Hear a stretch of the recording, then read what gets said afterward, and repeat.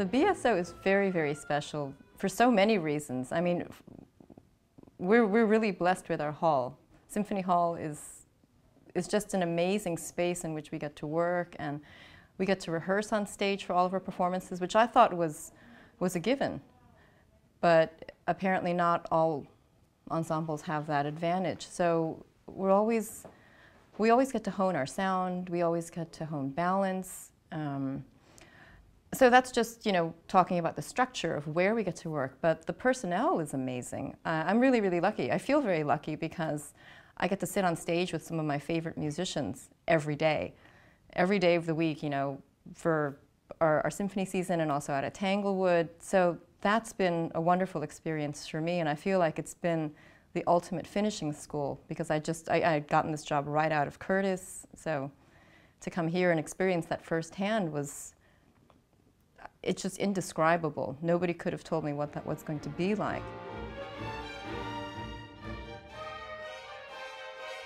So when people come to play in an ensemble like the Boston Symphony, I think, I imagine, and because this is what I used to think also, that you show up at a job like this, you're lucky enough to win an audition, you show up to play in the Boston Symphony, and you think that you're a fully formed musician but you're not really. I wasn't. I was so green when I first showed up here. So when I say this was my finishing school, I really mean it. i I feel like musically I've learned so much more because there's something about the process of rehearsing with these people all the time and learning how to play with them and, you know, really, really, you know, doing a lot of active listening, but also just experiencing what top-notch musicians can do on a day-to-day -day basis and how that communal experience and also the, the, the BSO is really unique in that there's such a wonderful um, collective memory.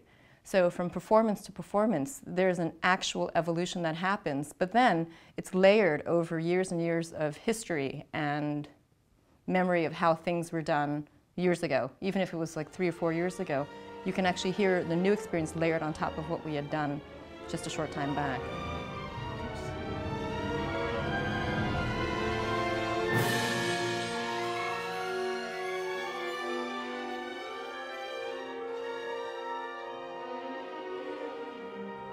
I enjoy teaching. I really enjoy teaching. I don't like to do it that often because I'm very, very conscious of the fact that it's a huge responsibility.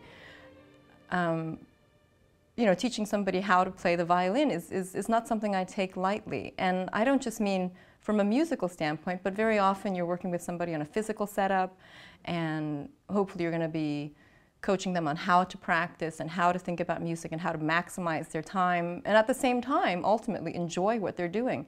So it's a huge responsibility. I don't, I, I, I would probably teach more if I felt a little less passionately about it. But I, I enjoy it. It always helps me rethink my approach. It always helps when you have to explain to somebody how something is done and how I've broken down a problem. And, you know, finding a fresh approach to something that I've been doing ever since I was four, it helps you well, I guess the best way to put it is it helps me rethink things. It reminds me of something I read once about teaching where somebody was asked the same question, why do you teach and why do you love to teach? And they compared it to fishing. And I thought it was the funniest analogy, but then this person went on to say, it's like fishing, you know, you, you cast your bait, you know, you, you put something on the hook and you cast, and you keep casting. And every once in a while, you catch a fish. And it's that wonderful moment, this wonderful moment of, I guess, serendipity when something you've said, you throw everything out there. Sometimes you try, you know, an audible example, sometimes you try verbal, sometimes you try, you know, fixing a setup. But there's always that moment of when the student understands exactly what you're trying to say, where, where you just feel like, all right, I caught the fish, now I can start to work. So it doesn't always happen, but when it does happen, it's very exciting. Oh, when I'm not working, I love to travel.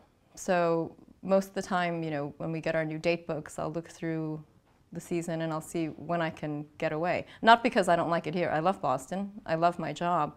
But I really, there's nothing more exciting to me than, you know, picking a place on a map and going and, and seeing something new and seeing how other people live. And, you know, and when I'm there, I, I like to see what, uh, I don't know, just one, one, one, of the, one of my favorite things to do when I'm abroad is to go to a local grocery store and see how people shop. It's always very interesting to me to see what people are buying for dinner and to see what's on the shelves. Um, so along with the grocery store theme, I love to eat. Um, you know, fine dining, I like to cook. I'd never had a chance to live abroad, and that was something I'd always wanted to do. And I had that opportunity during the 2009-2010 season. And a good friend of mine who runs an orchestra, one of the orchestras in Berlin, had invited me to come play there for a year, and I just I jumped at the opportunity. And I was really lucky that the BSO was able to let me go for a year. So I finally had my year abroad experience, you know, living as an expat. Absolutely loved it. So I'd have to say Berlin is one of my favorite places to live and work. And there are a lot of places in the world that are great to visit, but you know, I can't imagine myself working there and you know, having a day-to-day -day quotidian experience. But Berlin, loved it. Absolutely loved it.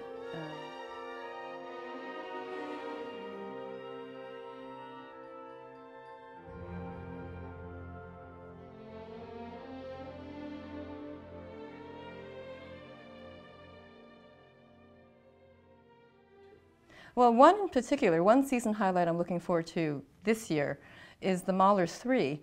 Um, just because that was something that we performed my very first season in the BSO, and everything my first season was so scary and so wonderful and so intimidating, and I had never worked on anything at, you know, in that scale, so the performance like Mahler 3, and we took that on tour, on my very first tour in March of 1998 with Seiji. And for me, every aspect of that tour was, was a fascinating experience. I'd never done a professional symphony tour and you know, getting to play in some of these wonderful halls for the very first time ever was, was also awe-inspiring and intimidating. And this was the first time I ever played, for example, at the Musikverein. So I have very, very fond memories of this piece. There's always something new. There's always something interesting. Um, so we're opening with Beethoven 7 this season. We just did it at Tanglewood, and it's another one of these things where I don't really think about it. And then we sit down and we, we begin to play and this wonderful sound comes out of the orchestra and some of the solos are slightly different depending on how our principals are feeling and the balance might be slightly different and, and every time there's just something fresh, something interesting and when you have 90 to 100 people on stage and you, you, you, know, you factor in that human element, magic happens very often. Not every night, but very often we get magic on that stage.